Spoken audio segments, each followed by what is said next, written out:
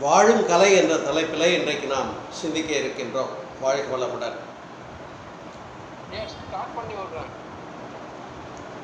வாழும் கலை என்ற தலைப்பில் மிக அவசியமான ஒன்று தான் ஏனென்று சொன்னால் எல்லா மகான்களும் சொன்ன விஷயங்கள் எல்லாம் ஒன்று தான் என்றாலும் கூட நமக்கெல்லாம் அதை பங்கீடாக புரிந்து கொள்வதற்காக இந்த த- இந்த தலைப்பை இன்றைக்கு நாம் மேற்கொண்டிருக்கின்றோம். வாழ்க்கையில் ஒவ்வொருவரும் சிறப்பான முறையில்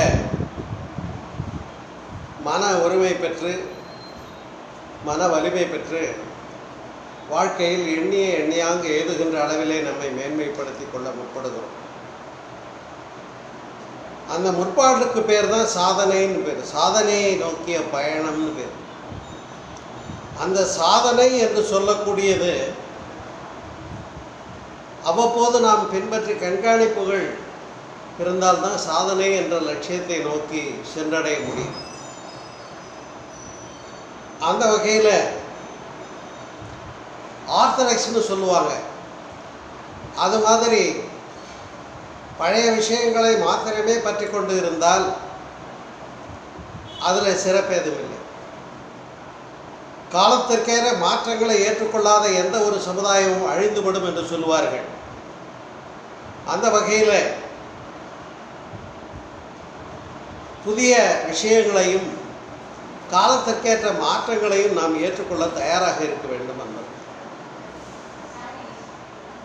அந்த வகையில் ஒவ்வொரு மனிதனிடத்திலும் ஒரு தனித்தன்மை இருக்கிறது.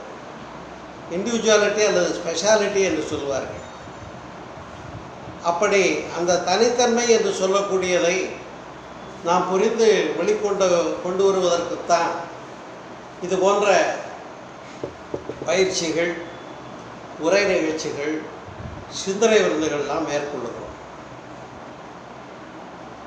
அவ்வாறு புதிய விஷயங்களை ஏற்றுக்கொள்ளக்கூடிய மனோபாவம் என்பது மிக வாழ்க்கையில் அடிப்படையான விஷயமாக இருக்கிறது பாருங்கள் அப்படி நம்மிடத்தில் உள்ள தனித்தன்மைகளை கொண்டு வந்து சாதிப்பதற்கு மனதிலே தெளிவு வேண்டும். அந்த தெளிவு எது கொடுக்கிறது என்று கேட்டால் நேர்மை என்ற ஒரு திணிவு இருந்தால் நாம் அந்த எந்த ஒன்றையும் அடைவதிலே அந்த பலம்தான் நமக்கு பின்பக்க துணையாக அமையும். அப்போ லட்சியத்தை நோக்கிய பயணம் அந்த சாதனையை நிகழ்த்துவதற்கான திட்டமிடலும் பின்பற்றுதலும் மற்றும்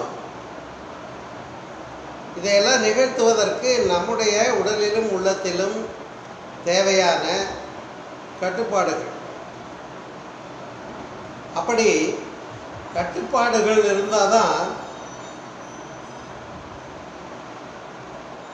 அந்த பாதை செவனை அமையும். அப்படி ஒரு வெற்றியை நோக்கி பயணிப்பதற்கு இது போன்ற சன்மார்க்க கலந்துரையாடல்கள் தேவைப்படுகிறது. அன்பர்களே. அப்போ அந்த நட்பு வட்டமாகத்தான் நாம் இன்றைக்கு இங்கே ஒன்றிணைந்திருக்கிறோம் குழுமை இருக்கிறோம்.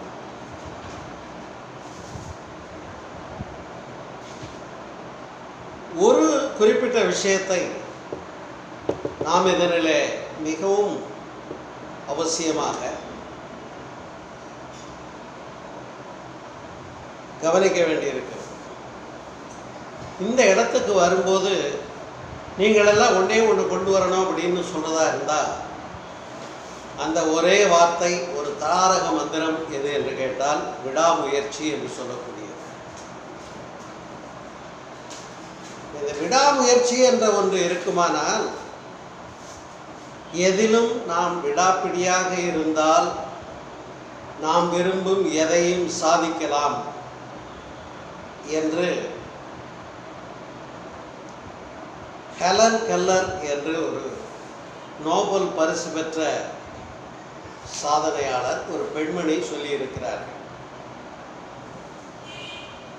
அப்போ அந்த விடாமுயற்சி இருந்தால் மட்டுமே நாம் நம்முடைய வாழ்க்கையில் எதையும் சாதிக்கலாம் என்பதை மறுக்க முடியாது அன்பர்களே. ஆகையினால தான் ஹவு டு லிவ்னு ஒரு தெளிவை நாம் கையில் எடுக்கிற போது பலருக்கு இனம் புரியாத பயத்தினாலேயே வாழ்க்கையை அணுகுமுறை கொள்வதிலே அச்சப்படுகிறார். இப்படி பண்ணால் என்ன வம்பு வந்துருமோ? இப்படி பண்ணால் இந்த சிக்கல் வந்துருமோ? என்னுடைய எதிர்காலத்தில் என்னென்ன விளைவுகள் வந்துருமோன்னெலாம் அஞ்சுவது என்பதை ஒரு அரிய கலையாக கூட வைத்து விட்டார்களோ என்று நினைக்கின்ற அளவில் அப்போ ஐயம் திரிபு அற. அந்த பயம் இல்லாமல் தெளிந்த மனதை பெறுவதற்குத்தான் இது போன்ற ஆன்மீக சந்திப்புகளை நாம் நிகழ்த்தி கொண்டிருக்கின்றோம் அன்பர்கள். எனவே வாழ்க்கையில் ஒருத்தர் நினைக்கிறார் நான் ரொம்ப பாதுகாப்பாக இருந்தேன் தாயினுடைய கருவறையில் இருந்தபோது அல்லது பெற்றோருடைய கண்காணிப்பில் இருக்கின்ற போது. ஆனால் ஒரு முழுமையான மனிதன் என்ற பக்குவத்திற்குள்ள இளைஞனாக இளைஞனாக வர முன்வருகிற போது அங்கே புதிதாக தென்படுகின்ற பிரச்சனைகளை எதிர்கொள்ளக்கூடிய விஷயங்களை எவ்வாறு அணுகுவது என்பதிலே ஒரு தயக்கமும் அச்சமும் பயமும் ஏற்பட்டு விடுகிறது பாருங்கள். இந்த தயக்கம் இந்த அச்சம் இந்த பயம் அதுதான் பிரச்சனைகளுக்கெல்லாம் காரணம். ஏனென்றால் வாழ்க்கையில் பிரச்சனையே இருக்கா இல்லாமல் இருக்க வேண்டும் என்று நினைக்கிறதே ஒரு பெரிய பிரச்சனை. நல்லா புரிஞ்சுக்கோங்க. வாழ்க்கையில் எனக்கு பிரச்சனையே இருக்கக்கூடாதுன்னு ஒருத்தர் நினைச்சா அதுதான் பிரச்சனைகளுக்கெல்லாம் மிக காரணம். அப்ப சிக்கல்களும் வாழ்வில் இயல்பே என்று புரிந்து கொள்ள வேண்டும். ஒவ்வொரு பிரச்சனைகளையும் ஒரு மனிதன் எதிர்கொள்ளுகிற போது அதை எதிர்கொள்ளுகின்ற மெத்தட் என்று சொல்லுவார் ஹவு டு என்ற ஒரு சிறப்பு. அதைத்தான் முன்னோர்கள் வாழ்ந்து காட்டி நமக்கு விட்டு சென்றதை வாழும் கலை என்று இன்றைக்கு சிந்திக்க தொடங்கி இருக்கிறோம் அன்பர்களே. மன ஆற்றல் பெற வேண்டும். உடல் நலமும் உடல் ஆரோக்கியமும் வலிமையும் பெற வேண்டும். அப்படி ஆற்றல் பெறுவதற்காகத்தான் நாம் அந்த விடாமுயற்சி லட்சிய நோக்கு திரும்ப திரும்ப சங்கல்பம் செய்கிறதுனாலே அதை நோக்கிய பயணம் புதிய விஷயங்களை ஏற்றுக்கொள்ளுதல் கண்காணித்தல் ஃபாலோ அப்னு சொல்லுவான் நான் சரியான பாதையில் பயணிக்கிறேனா? நான் சரியான கோணத்தில் சென்று கொண்டிருக்கிறேனா? என்னுடைய கணங்கள் எல்லாம் சரியாக செலவிடப்படுகிறதா என்று நான் அவ்வப்போது நம்மை சரிபார்த்து கொள்ள வேண்டிய பொறுப்பில் இருக்கிறோம். ஆகையினாலே தான் இவ்வாறு வாழ்க்கையினுடைய நிகழ்வுகளில் ஒரு இன்பமும் வரலாம் ஒரு துன்பமும் வரலாம். இன்பம் வந்தால் மட்டும் ஏற்றுக்கொள்கிறேன் எனக்கு மகிழ்ச்சியாக இருக்கிறது. ஆனால் துன்பம் வறுமையானால் நான் துவண்டு விடுகிறேன் என்று சொன்னால் அங்கே அது சரியில்லை.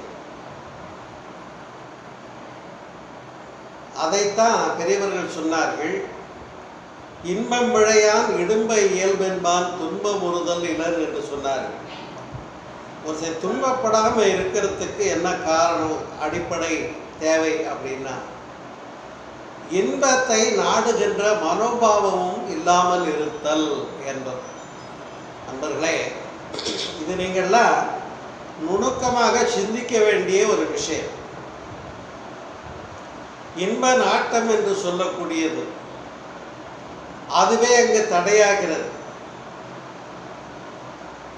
அதே போலத்தான் ஒருவன் எனக்கு துன்பமே வாழ்க்கையில் நிகழாமல் இருக்க வேண்டும் ஆண்டவா என்று வேண்டுகிறான் என்று சொன்னால் அங்கேயும் நம்முடைய முன்னேற்றத்திற்கு அது தடையாகிறது பாருங்க. அந்த காரணத்தினாலே தான் இடுக்கண் வருங்கால் நகுக அதனை அடுத்து வருவது அகுதொப்பதில் என்று சொன்னார்கள். துன்பம் வரும்போது சிரிக்க சொன்னான். வள்ளுவத்தில் இடுக்கண் வருங்கால் நகுக அதனை அடுத்து வருவது அகுதொப்பதில் இதில் என்ன பொருள்னு கேட்டால் இன்பமும் துன்பமும் மாறி மாறி வருவதுதான் வாழ்க்கையினுடைய இயல்பு என்று எவன் ஒருவன் புரிந்து கொண்டானோ அவன் வெற்றி பெற்றவனாகிறான் இன்பம் வந்துற்ற போது மிக மகிழ்ந்து துள்ளல் நிகழ்கிறது உள்ளத்தை. எவ்வளவுக்கு எவ்வளவு அந்த துள்ளல் நிகழ்கிறதோ ஒரு கடிகாரத்தினுடைய பெண்டுலம் போல இந்த கடைசியில உச்சிக்கு போய் எனக்கு ஆஹா இவ்வளவு சந்தோஷம் எனக்கு கிடைச்சிருச்சு இப்ப அப்படின்னு போகும்போது அதே சமயத்தில் அந்த பெண்டுலமானது இந்த பக்கம் எவ்வளவு போச்சோ அதே அளவுக்கு ஒரு துன்பம் வருகிற போது அந்த பெண்டுலம் இந்த பக்கமும் போகுன்றதை புரிஞ்சுக்கணும். கடிகாரத்தில் ஊசல் பார்த்துருப்பீங்க பெண்டுலம் ஆடிக்கொண்டிருக்கும் அதுபோல தான் நம்முடைய வாழ்க்கையில் இன்ப துன்பம் இரண்டையும் சமமாக கருதிவிட்டால் வெற்றி பெற்றவர்களாக திகழ வாய்ப்பிருக்கு இடுக்கண் அழியாமை என்ற குரல் அதிகாரத்திலே அதனை சிறப்பாக வள்ளுவம் விளக்குகிறது. இன்பம் வந்துற்ற போதும் எளிதன மகிழா துன்பம் வந்துற்ற போதும் துள்ளன துவளார் முழுது உணர்ந்தோரே என்று சொன்னது போல எனவே இடும்பை என்று சொல்லக்கூடியது இடுக்கண் என்று சொல்லக்கூடியது துன்பம் என்று சொல்லக்கூடியது. வாழ்வின் ஒரு இயல்பான ஓட்டத்தில் இருக்கக்கூடிய வ- மேடு பள்ளங்களைப் போல ஒரு நேரம் மேட்டில் ஏறும்போது நம்ம சிரமப்பட்டாலும் அடுத்தா போல இறக்கத்தில் போகும்போது சுலபமாக இருக்கிறது என்பதற்காக தனியாக மகிழ்ந்துவிட தேவையில்லை. மேடும் பள்ளமும் வாழ்க்கையில் நாம் செல்லுகின்ற பாதையில் எப்படி இயல்போ அதுபோலத்தான் என்று புரிந்து கொள்ள வேண்டும்.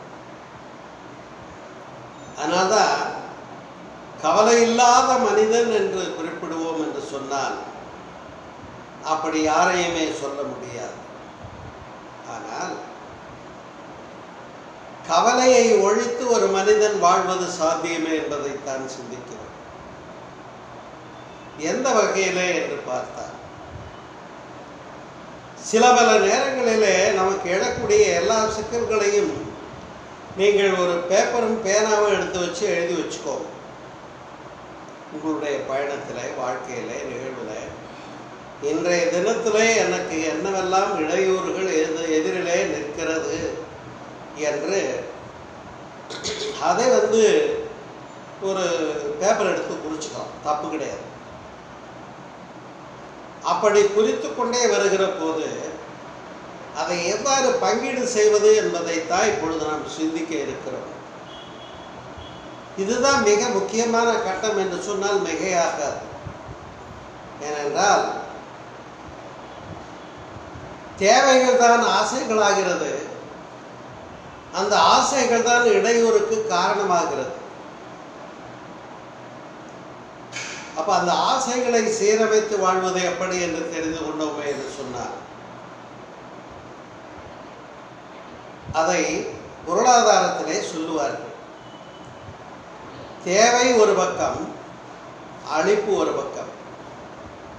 இந்த தேவையும் அழிப்பும் இவை இரண்டின் இடைவெளியே கவலை என்று சொல்லுவார்கள். எனக்கு தேவைகள் மிகவாக இருக்கிறது. நிறைய நிறைய இருக்கு. அழிப்பு என்று சொல்லக்கூடியது நமக்கு வரக்கூடிய பொருளாதார வரவு என்று வைத்துக் இந்த இடைவெளி எவ்வளோ அதிகம்னு பார்ப்போம். ஒரு உதாரணமாக ஒரு நபருக்கு மாதம் ஒன்றுக்கு நாற்பது ஆயிரம் வருமானம் என்று வைத்துக் கொள்வோம். இவர் வந்து ஐம்பத்தையாயிரம் ரூபாய் அந்த மாதத்துக்கு செலவு பண்ணுறாருன்னா பதினையாயிரம் ரூபாய்க்கு அவர் கவலையை விலைக்கு வாங்குறாருன்னு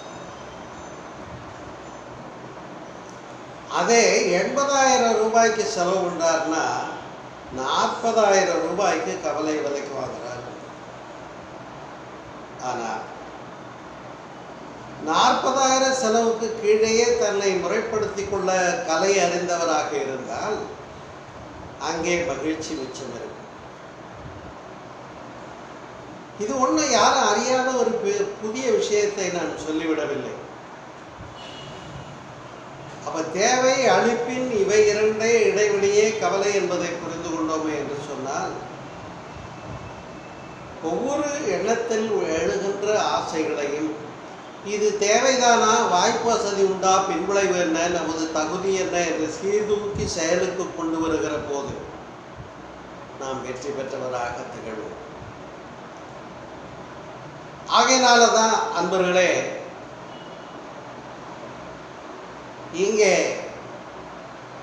நம்முடைய பிரச்சனைகளை நம்முடைய கவலைகளை ஒரு பட்டியலிட்டுக் கொள்ளுங்கள் என்று நான் சொன்னேன்.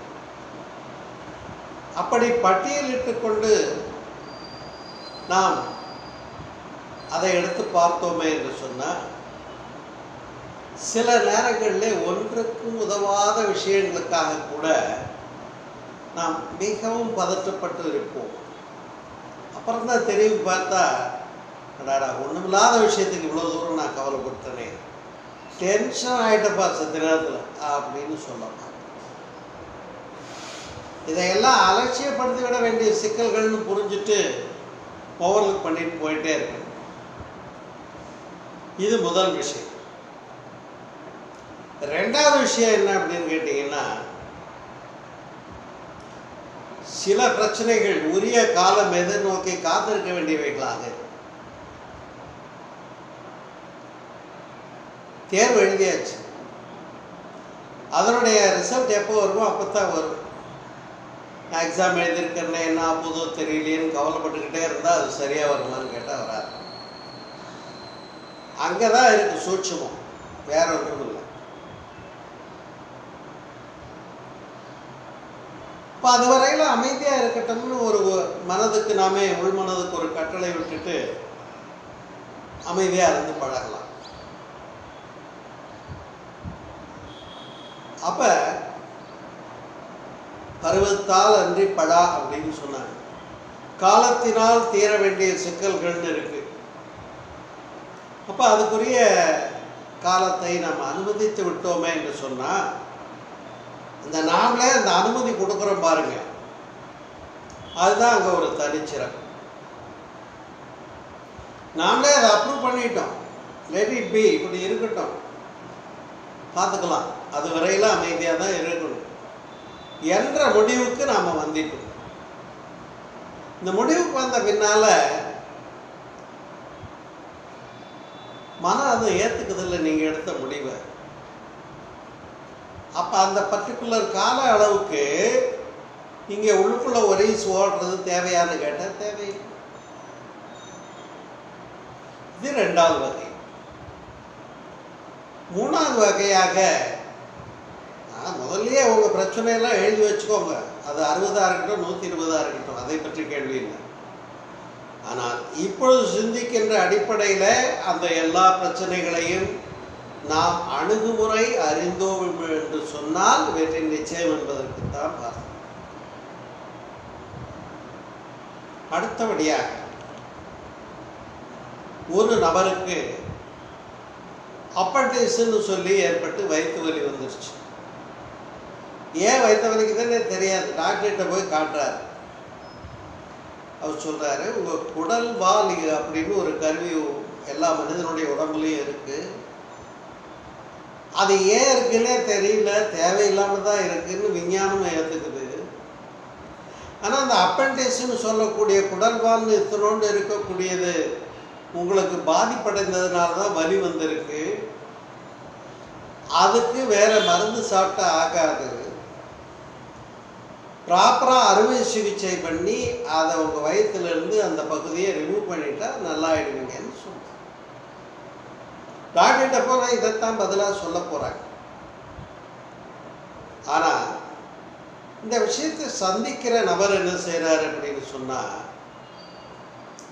எனக்கு இப்போ அந்த அளவுக்கு பத்து இருபது ரூபா இருபதாயிரம் ரூபாய் செலவு பண்ணுறதுக்கு பொருளாதாரம் இல்லைங்க.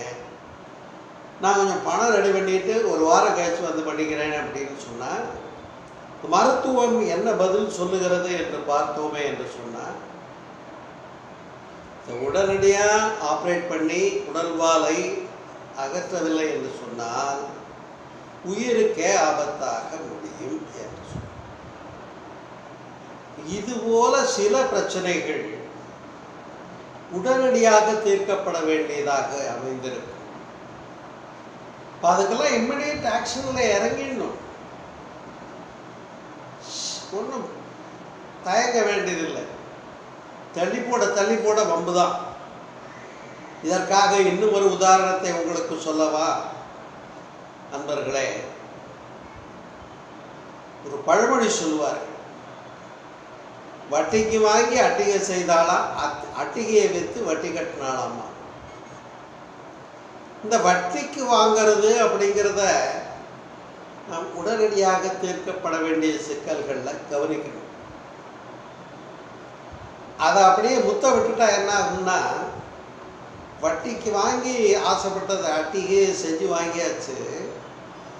ஆனால் வட்டி கட்டாதனால இப்போ வட்டியை மட்டும்தான் கட்ட முடிஞ்சது அசல் அப்படியே நிற்கிது அப்போ ஒரு காலகட்டத்தில் அந்த அட்டிகை செய்ததை விற்றுட்டு அந்த அசலை அடைக்க வேண்டிய நிலைமை இது போல தான் சில விஷயங்களிலே நாம் தவறி விடுகிறோம். உடனடியாக தீர்க்கப்பட வேண்டிய சிக்கல்களை தள்ளி போடுவதனாலே வம்பிலே மாட்டிக்கொள்ளுகிறோம் என்பதுதான் உண்மை அன்பர்கள். இப்ப மூன்று விதமான அணுகுமுறைகளை பார்த்தோம் அல்லவா? ஒரு வாழ்க்கையினுடைய வெற்றி பெற்ற மனிதனாக இருக்க வேண்டும் என்று சொன்னால் ஒரு அருமையான சாதனை மார்க்கத்தை உங்களுக்கு நான் வழிகாட்ட கடமைப்பட்டிருக்கிறேன். எல்லா விஷயங்களிலும் இந்த நெகட்டிவ் தாட்ஸை கையில் எடுக்காம நேர்மறை எண்ணங்களை மட்டுமே கைக்கொள்வதனாலே வெற்றி பெற முடியும். என்பது எல்லா வயதினருக்கும் உள்ள ஒரு சிறந்த நெறிப்பாடா ஏன்னு சொன்னால் நம்முடைய மனம் புறமனம் நடுமனம் அடிமனம் என்று மூன்று கட்டங்களிலே இயங்கிக் கொண்டிருக்கிறது. இந்த புறமனம் என்ற நிலையிலே இருந்து அடிமனத்துக்கு போகிறது இதை கான்ஷியஸ் மைண்ட் சப்கான்ஷியஸ் மைண்ட்னு சொல்லுவாங்க. அதே போல் இன்னும் அலைநிலை சுருங்கி அமைதி நிலைக்கு போகிறது. சூப்பர் கான்ஷியஸ் மைண்ட்னு சொல்லக்கூடிய நடுமனதிலிருந்து அடிமனத்துக்கு போகிறது இப்போ conscious mind subconscious mind super conscious mind நமக்கு இருக்கக்கூடிய மன அலை அடுக்குகளிலே அமைதியான நிலையை இங்கே தரக்கூடிய அடிமனம் வரையிலே சென்று ஆழமாக சில விஷயங்களை நாம் சிந்திக்கிற அழுத்தம் தருகிற போது அதுக்கு பேர் தான் சங்கல்பம்னு பேர். நான் இத்தகைய வெற்றியை உயர்வை சிறப்பை அடைவேன் என்று முடிவெடுக்கின்ற பாங்கு இருக்கிறது பாருங்கள். அந்த முடிவெடுத்து விட்டால் அதை சாதிக்கிற வலிமை எப்பொழுது வரும் என்று சொன்னால் அப்போ அந்த அடிமனம் வரையிலே செல்கின்ற போது வெற்றியாளர்களாக வெளிப்பட முடியும். அதற்குத்தான் யோகம் தியானம் போன்ற எல்லாம் சொல்லப்படும் நண்பர்களே இப்பொழுது வரக்கூடிய அனைத்து பிரச்சனைகளையும் எவ்வாறு அணுகுவது என்று சிந்திக்கின்ற போது நாம் ஒன்று கண்டோம். ஒன்றுமில்லாத சின்னஞ்சிறிய பிரச்சனைகளுக்கெல்லாம் மனதை உழற்சி செய்து கொள்ளக்கூடாது என்பதையும் உரிய காலம் எதிர்நோக்கி காத்திருக்க வேண்டிய சிக்கல்களுக்காக I will wait for that முடிவெடுத்துட்டு கம்பீரமாக அமைதியாக உட்கார்ந்துருக்கிறதை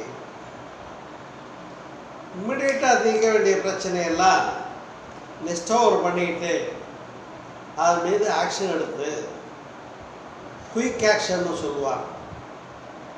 இது எங்கே அவசியமாகிறதுனா உங்களுக்கு ஒன்று தெரியும். இந்த மாவட்ட ஆட்சி பணியாளர்னு சொல்லுவோம். ஐஏஎஸ் அப்படிங்கிற அளவில் வர்றவங்களுக்கு குறைந்த கால நேரத்திலேயே ஒரு சில விஷயங்களை எவ்வளவு சிறப்பாக அவர் முடிவெடுக்க முடிகிறது என்பது ஒரு சிறப்பு. அதுக்கு டெசிஷன் மேக்கிங் கெப்பாசிட்டின்னு சொல்லுவாங்க. அதுதான் ஒரு ஐஏஎஸ் ஆஃபீஸருக்கு தேவையானது. அதுபோல வாருங்கள். அந்த விஷயங்களை நான் உடனடியாக முடிவெடுக்கிற போதும் குழப்பம் ஏதும் இல்லாமல் சரியான முடிவுதானா என்று தெளிந்து தேர்ந்து முடிவெடுத்து செயலாற்றும் திறன் யோகியர்களுக்கே உரித்தான ஒன்று இன்னும் சொல்ல போனால் மன ஒருமையும் மன வலிமையும் உடையவர்கள் என்று சொன்னால் மிகையாகாது நண்பர்களே இப்பொழுது அந்த கவலை என்ற பட்டியலிலே வேறு சில விஷயங்கள் தென்படும். அது என்னன்னு கேட்டால் நான் இன்றைய இந்த சந்திப்பை உங்களோடு குழுவில் ஏற்றுக்கொண்டு இந்த தலைப்பை நான் கொடுத்த போது என்னுடைய வெளியூர் பயணம் திட்டமில்லை திட்டமிடப்படவில்லை. ஆனால் வித்தின் நோ டைம் அங்கே முடிவெடுக்க வேண்டியிருக்கு. வெளியூர் வந்தாச்சு சந்திச்சிருக்கோம். முடிகிறது சாதிச்சிட்டோம். இன்றைக்கு அன்பே சிவம் குழுவில் வாழும் கலை என்ற தலைப்பில் பேசுறது இத்தனை மணிக்குன்னு முடிவு பண்ணதை. பயண மாற்றங்கள் இருந்தாலும் செய்துவிட முடிகிறது செய்துவிடும் ஓகேயா? ஆனால் இப்போ அதே பயணத்தின் போது கடுமையான புயலும் மழையும் இயற்கை சீற்றமும் வந்தாச்சு. அல்லது ஒரு பூகம்பம் பூகம்பம் நிகழ்ந்ததாக கூட பார்க்குறோம் நாம். இத்தனை ரெக்டர் அளவில் பூகம்பம் அப்படின்னு சொல்லுவோம் அப்போ நாம் திட்டமிட்டபடி இதையும் செய்ய முடிகிறதா? இல்லை. இப்போ இது இயற்கையினால் ஏற்பட்ட தடை. இப்போ என்ன பண்ண போறீங்க சொல்லுங்க. ஒன்று வேண்டாம். புரிகிற மாதிரி ஒன்று சொல்கிறேன் நான் இப்பொழுது திண்டுக்கல்லிலே இருந்து உங்களோடு இதை பகிர்ந்து கொண்டிருக்கேன். டவர் கிடைக்கலன்ற பிரச்சனை வந்துடுச்சு. இது என்ன? விஞ்ஞான முன்னேற்றம் நமக்கு வழங்கிய சலுகை காரணமாக நம்ம உரையாடி கொண்டு இருக்கிறோம் இப்போ லைவ்ல பேசிட்டு இருக்கோம். அப்போ அந்த குறுக்கீடு வந்தால் ஒன்றும் நம்ம கையில் இல்லைன்னு புரிஞ்சுக்கும் போது ரைட் அப்போ வீடியோ வேண்டாம் ஆடியோவில் மட்டும் பேசிக்கணும்னு முடிவு தர முடிகிறது இல்லையா? அதுபோலத்தான் ஒரு சில விஷயங்களிலே நாம் எண்ணுகின்ற ஒரு விருப்பம். அதை நாம் நினச்சிக்கிறோம் நான் நினச்சிட்டேன் செஞ்சுட்டேன்னு நினைக்கிறேன் ஆனால் உண்மை அது வல்ல. இயற்கை ஒத்துழைத்தது. நான் சிரமம் இல்லாமல் இப்போ இருக்கேன். பேச முடியுது பேசிட்டு உண்மைதானே. உன்னுடைய பயணத்தின் போது என்னாச்சு? பெரிய மிகப்பெரிய கடுமையான புயல் மழை சூறாவளி வந்துருச்சு. இந்த நிகழ்வை நான் திட்டமிடி திட்டமிட்டபடி நிகழ்த்த முடியவில்லை. இது எதனால் அப்படின்னு பார்த்தோம்னா இயற்கை அங்கே முரண்பட்டு விட்டது உண்டா இல்லையா? சரி. இப்போ இதை ஒரு முக்கோணம் போல கருதி கொள்ளுங்கள். அந்த முக்கோணத்தினுடைய ஒரு பக்கம் மேலே நாம் இருக்கோம். நான் நினைக்கிறேன் I was programmed I was proposed செய்ய முற்படுகிறேன். இப்போ இயற்கை ஒத்து வந்ததுனால திட்டமிட்டபடி பயணமும் நிகழ்த்தி இந்த நிகழ்வையும் சந்திச்சாச்சு பேசிட்டு அல்லது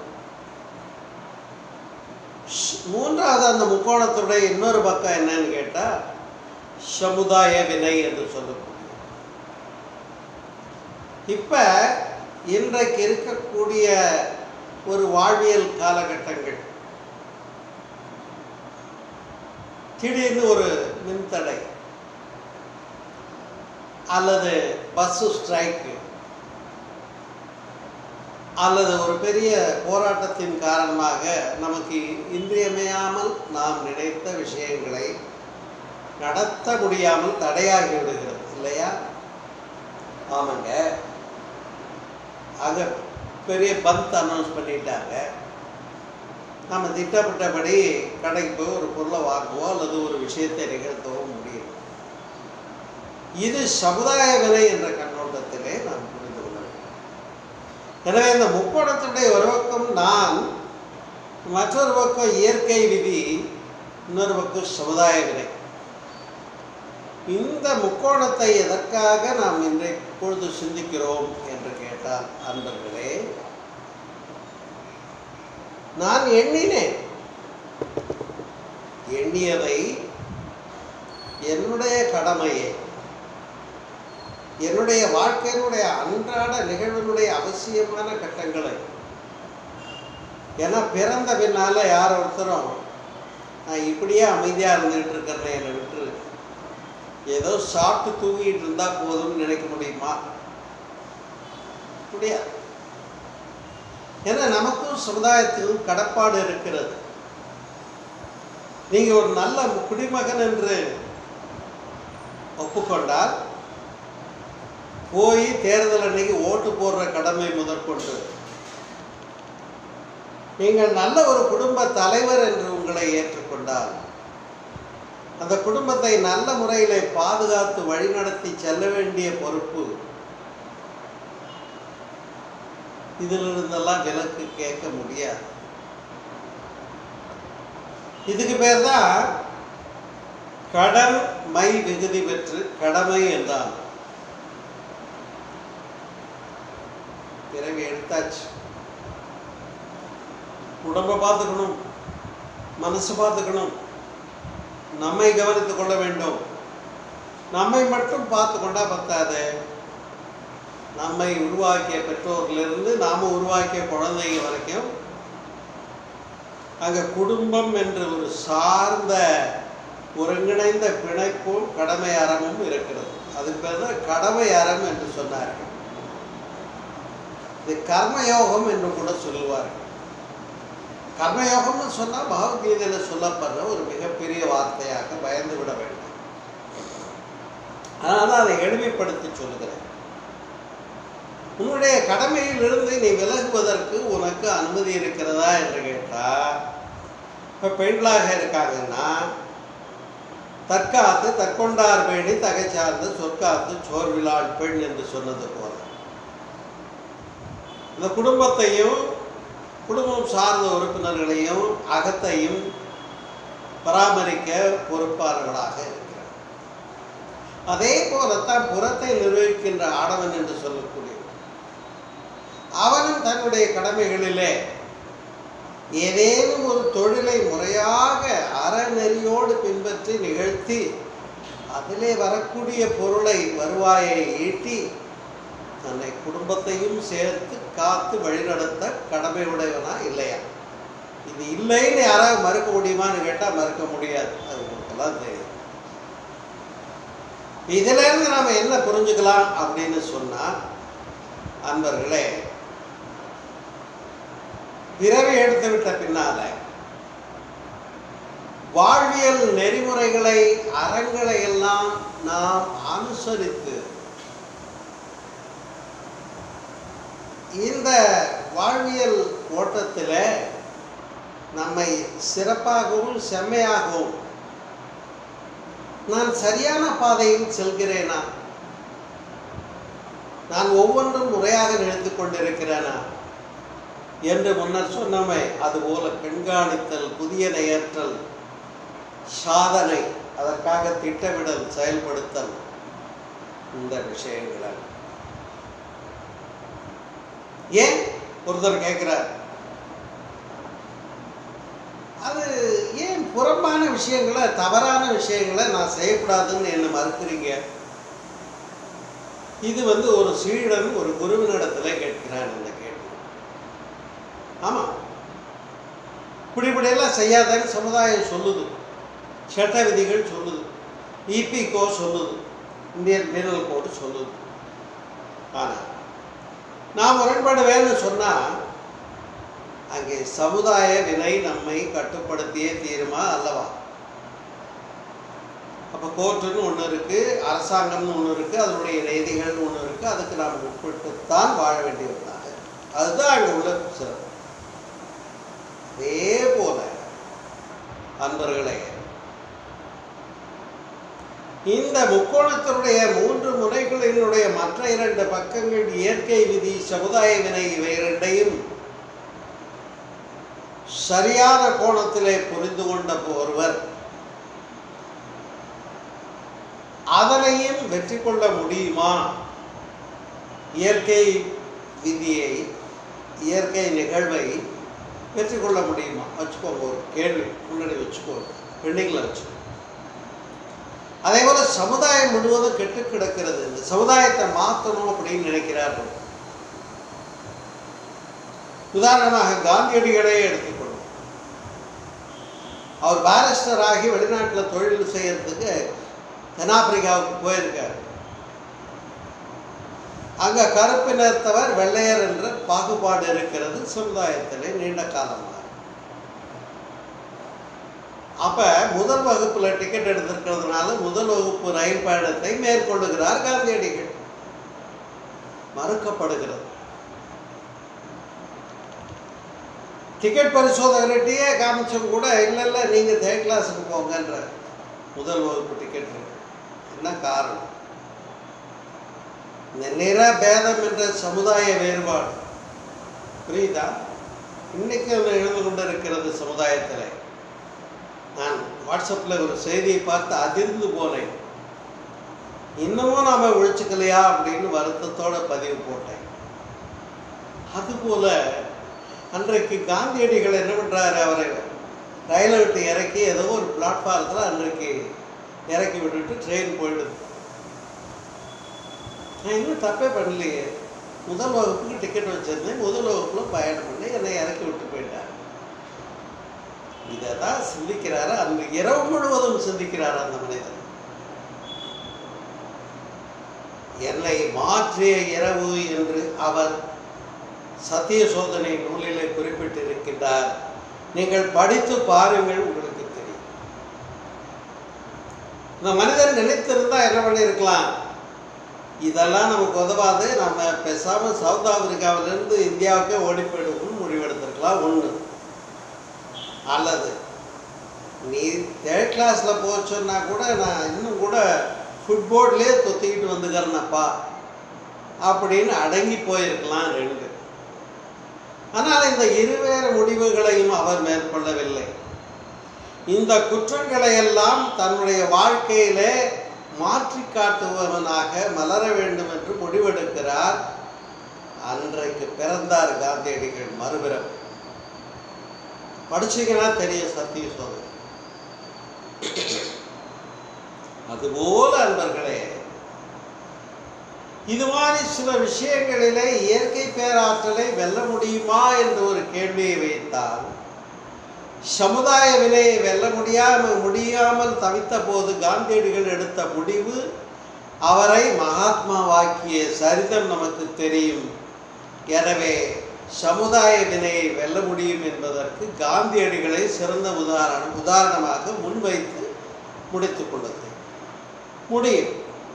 ஒற்றை மனிதன் அரையாடை பூண்ட மனிதன் வெள்ளையனை வெளியேறு என்று கொடிபிடித்த காலகட்டத்தில் துப்பாக்கியால் தான் சாதிக்க முடியும் என்று நேதாஜி அவர்கள் வெளிநாட்டிலே படை திரட்டி கொண்டிருந்த காலகட்டத்தில்.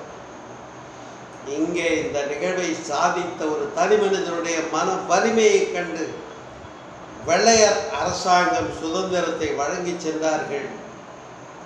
இன்றைக்கு ஆகஸ்ட் பதினாலு நாளைக்கு பதினைந்து சுதந்திர தினம் இல்லையா? அப்படி ஒரு நாட்டினுடைய தலையெழுத்தையே ஒரு தனி மனிதன் மாற்றி தர முடிந்தது என்று சொன்னால் அங்கே அந்த முக்கோணத்தின் மேலே இருக்கக்கூடிய தனி நபர் நான் தாம் என்ற ஒன்று மனவலிமை உடையவராக இருந்தால் வெற்றி பெற முடியும் என்பதற்கு முடித்துக் கொள்கிறேன் அதே போல முக்கோணத்தினுடைய இன்னொரு பக்கத்தை விவரித்தேன். ஏன் இதனை சொல்ல வருகிறேன் என்று சொன்னால் அன்பர்களே விதி பெரிதா மதி பெரிதா என்று சிந்திக்கிறார்கள்.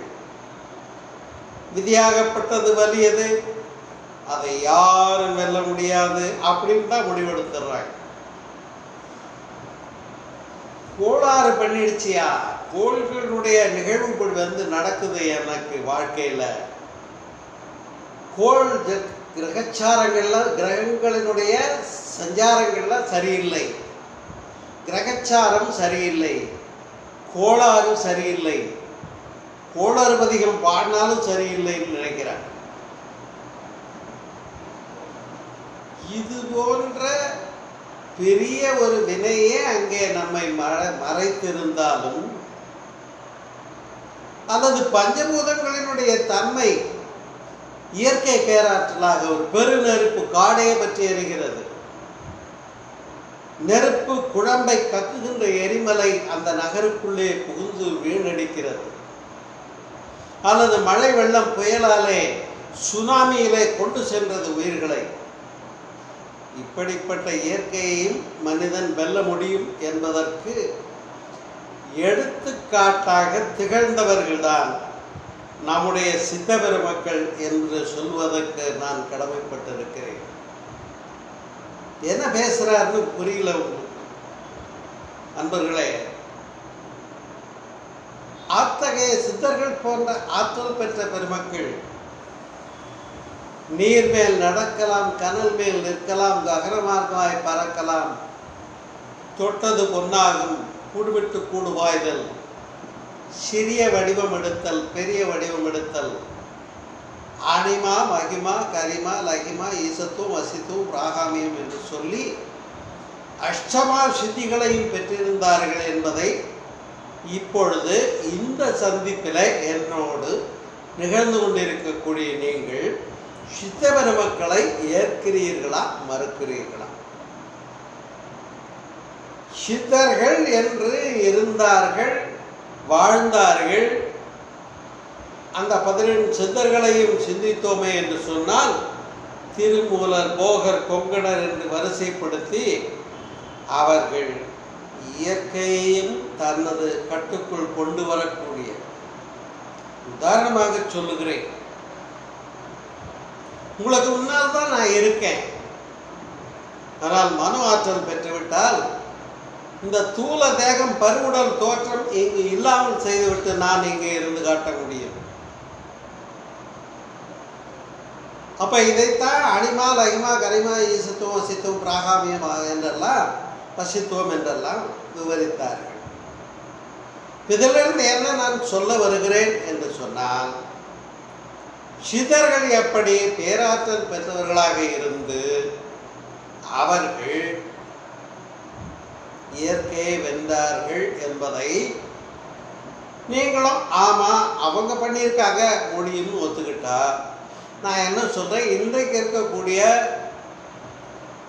பேராற்றல் நிலையில் இணைப்பு பெற்ற ஒருவராலே அப்படிப்பட்ட ஒரு பெரு நிகழ்வுகளை எல்லாம் நடத்த வேண்டாம். இப்போ மூணாவதா ஒரு கவலையை சொல்ல போகிறேன் அனுபவித்தே தீர வேண்டிய சிக்கல்கள். இந்த நாலாவதாக சொல்லப்படுகின்ற சில விஷயங்கள் வாழ்க்கையில் புயல் வெள்ளம் எரிமலை சீற்றம் சமுதாய வினை என்று பார்த்தோம் இப்போ இதையெல்லாம் எப்படி எடுத்துக்கிறோம் நாம்? வேறு வழி இல்லைங்க. கல்யாணம் பண்ணுறதுன்னு முடிவெடுத்தேன் கல்யாணத்துக்கு வர்றதுன்னு முடிவெடுத்தேன். கடுமையான புயல் வெள்ளம் ஆகிடுச்சு எப்படி வர வர முடியல அப்புறமா போய் ஒரு நாளைக்கு பார்த்து பொண்ணு மாப்பிள்ளையை வாழ்த்திட்டு வந்தோம் அப்போ திருமணத்துக்கு போக முடியலங்கிறத அங்கே நாமளே அப்ரூவ் பண்ணிடுவோம் அதை அங்கே சொல்லும்போது இப்போ திரும்ப வீட்டாரும் அதை ஒத்துக்கிறாங்க. ஆமாம் அன்னைக்கு தேதிக்கு யாருமே ஜேர்னி பண்ண முடியலைங்க. அப்போ சமுதாய வினை அந்த அளவுக்கு பஸ் போ போராட்டமாகி எந்த பக்கம் பஸ்ஸு ட்ரெயினே போகலைங்களே. அதனால் நீங்கள் வரலங்கிறத நான் அப்ரூவ் பண்ணுறேன் இப்போ அனுபவித்தே தீர வேண்டிய சிக்கல்கள் என்ற நிலையிலே சமுதாய வினையாகவும் இயற்கை வினையாகவும் நிகழக்கூடிய சில விஷயங்களை நாம் வெற்றி பெறுவதற்கு முடியும் என்று கண்டாலும் கூட அதை எந்த அளவிலே நம்முடைய மன மன ஆற்றல் மனுசக்தி வலிமையாக இருக்கிறதோ வெற்றி பெற்றவராக. அதுலேயும் கூட நியூட்ரலைஸ்டு மனம்னு ஒன்று உண்டு. நடுநிலை பெற்ற மனம்னு ஒன்று சொல்லக்கூடிய